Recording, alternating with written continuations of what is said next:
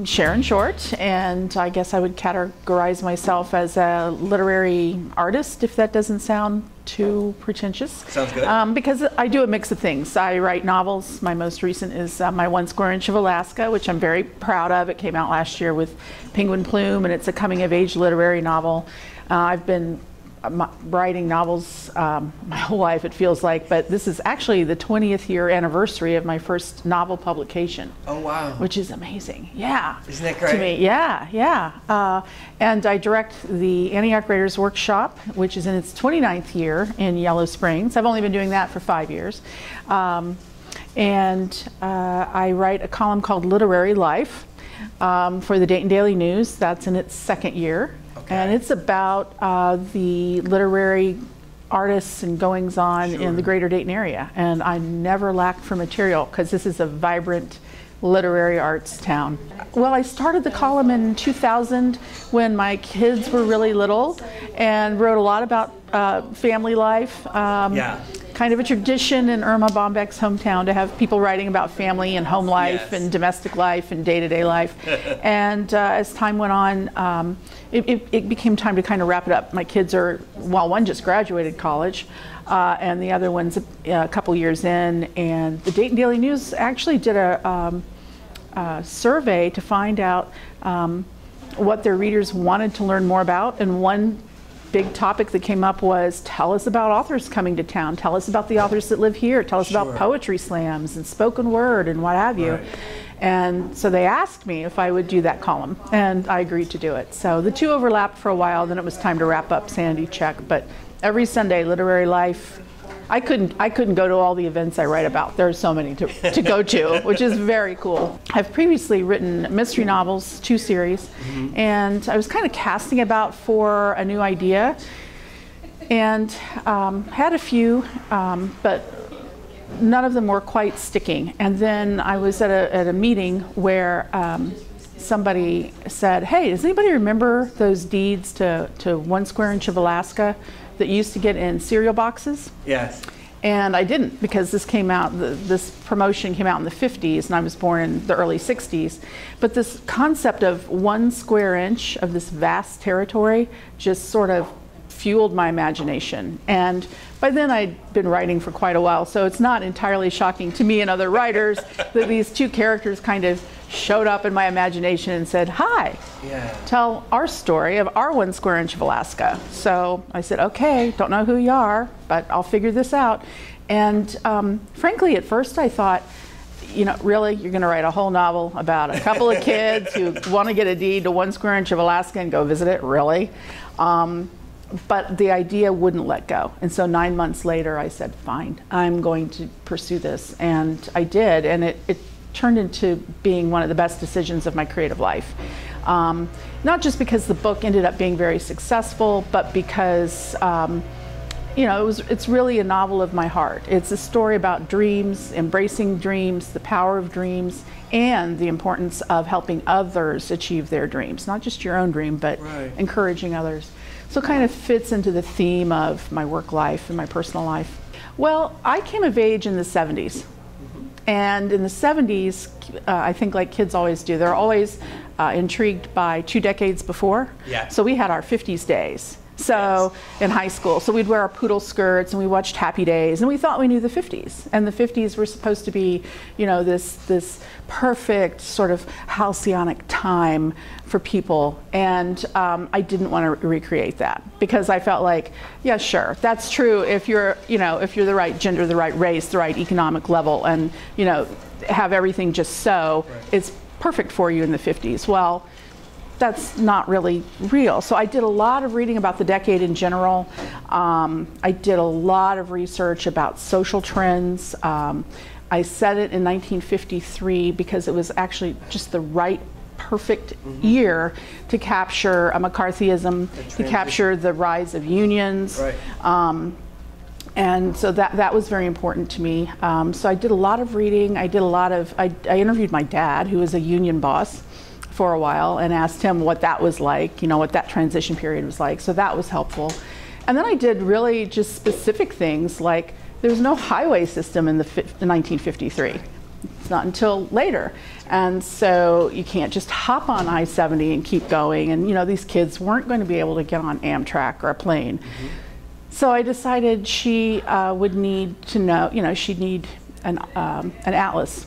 So I, I lurked on eBay for like for like three weeks, and it's really amazing how hard it is to find something super specific. But I wanted a 1953 road atlas that she could get at a local gas station yep. in 1953, mm-hmm. and it came on, and I bought it, and I tracked their actual the route they take is the route they would have taken. Sure. I found uh, weather data and I correlated it to where they would be on what date in 1953. So all the weather that's described happened that day in that place.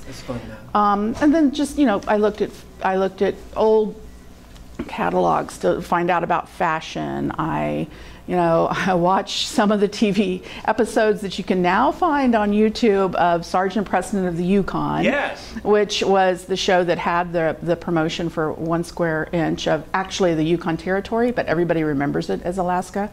Um, TV's really changed. I don't think I would have been as devoted. Maybe I would have if I came of age then, but okay. So I, I tried to go back in time as much as I could.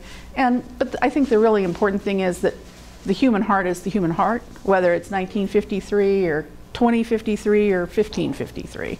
Um, but I did uh, want to capture that time realistically. Every project write is a great big old mess. I, I can't draw it all, but I have artist pads and I'll sketch, you know, like timelines and family genealogies. And so I'm doing a little bit of this all at once. And then at some point, somehow, I guess this is the art of it, um, it snaps together and then it does kind of become linear. And I'm revising and, and, re, and crafting and in a form that doesn't just look like madness strewn all over the place. Um, so I do a little bit at a time. And, you know, when I'm writing, if I don't know something, I'll just, I just, well, I'll just put in all capital letters, need to find out, you know, were there really buttons like this in 1953 or whatever. Um, because if I, I, think if I did all the research, I just I would never get around to writing. And so the column sanity check, uh, I I just I, worked at a, at a large tech company for a while and was let go along with 30 of my colleagues one day and started a marketing communications business but also just i had freedom and i had time as i was building this business so i started writing humorous pieces that had kind of been floating in my head i'd never really seen myself as a humorous writer at all but um, they came out funny. And it was about the time I was writing uh, some of the Josie short stories sure. too. So I sent a couple of these columns into the Dayton Daily because they had um, an occasional column for guest writers at the time. And I just sent them in for the heck of it. And uh, after two or three of these came out, Ron Rollins, um, who's the uh, associate editor at the Dayton Daily now, called me up and said, you know, we'd kind of like you to do these on a regular basis. And I said, You've got to be kidding. I mean, I literally said, You've got to be kidding me to the associate editor of the Dayton Daily, or the features editor at right. the time, because I'm not a journalist by training. I've done some journalism, but I'm not a right. journalist. So I said, all right, how about if I, how about, he said, we need a, a, weekly column that's funny and we need a woman's voice and we think that's you based on these that you've sent in. And I said, how about if I just let them run in the, we just let them run inside the paper, kind of like in the corner, like maybe in the classified section where nobody will read them. You were hiding. I was hiding. And he said, all right, we'll get, you know, he actually put it inside the life section. And after a couple months, he called me up and said, okay, you need to make a decision. Are you going to do this on a regular basis and let us feature you or not? And I said, well, now I'm hooked. All right, fine. Um, so that's how Sanity Check was born. I mean, it was really just I was having fun, writing from the heart, and it, it yeah. turned into this thing, which was, which is great. I wrote a piece about embracing the power of bare arms, which I'm not doing today because it's chilly out. Um, but it was it was about a woman. Uh, I was buying a dress and, at a store, and she said, "Oh, I'd love to be able to wear, you know, a sleeveless dress." And I said, "You know, why can't you?" And she said, "Oh, my arms are, they're, you know, they're just not beautiful." And I'm like, "You're beautiful. What are you talking about?" She's this gorgeous 60-something woman. I said, "Aren't we survivors? Shouldn't we be free to wear what we want?" And she said, "Well, I did just survive cancer. Oof. It's been a year." And I went, oh, for pity's sake, wear the, you know, get this dress. So I wrote this column about this and put it on my blog post. And I didn't think, you know, it was one of, again, one of those, it's from the heart. The next morning I woke up, it was unbelievable. It was all over Facebook. It had been, you know, spread around. People were writing about it. People were talking about how they were crying at work having read it. And now there's a Facebook page called "Embracing the Power of Bare Arms." Um, and it's a Facebook group, and you know, people are welcome to join it. Um, and it's basically women who are like, yeah, you know, and so it sort of tapped into body image issues for women in a way that I, I think, you know, is for the middle-aged woman. You know, we talk about that sure. a lot for younger women, but not uh, as much for middle-aged and older women.